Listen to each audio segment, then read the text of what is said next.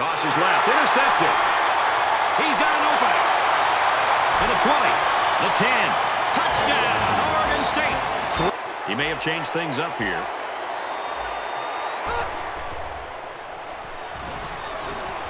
Aaron it out long. And he holds in the deep pass. Wide. Quick strike, and it's caught for the touchdown.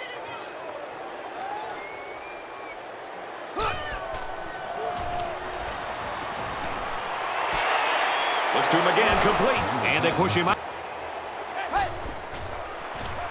Hines, options, left side. Touchdown, Southern Cal. This is the eighth play of the drive. Kicks away, and the field goal is good. Run play, first down. He's out to the 30. At the 40. Inside the 30. The 10. Touchdown, USC. I can guarantee you'll be seeing that one in the high.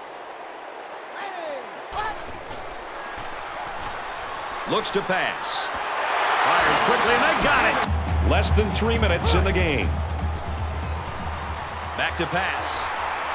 Stepping up. He's under pressure. Rolling out to the right side. Looking for the corner. He's at the 40.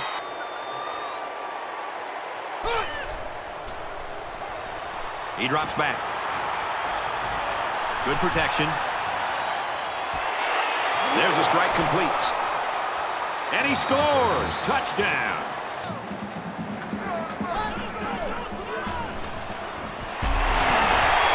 Got a man and it falls to the ground.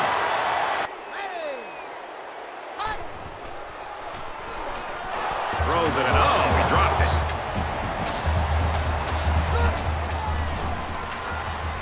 They keep it on the ground with a tailback. Touchdown, USC. This one's in the books. The Trojans get the victory. 38-24. And the Beavers, 24. So what are your final thoughts on this one, Kirk? Well, this was shaping up to be a really close game, but they did what they had to do, made some big plays, and were able to pull away. USC had a really tough matchup coming in, but they were prepared, motivated, and came away with a really solid win.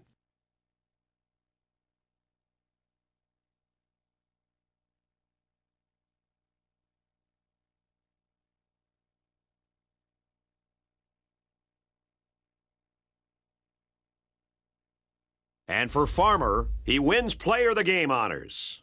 For the Trojans, a win today keeps the hopes for a national title shot alive at least for another week. And for the Beavers, they'll drop to 5 and 3 with this loss.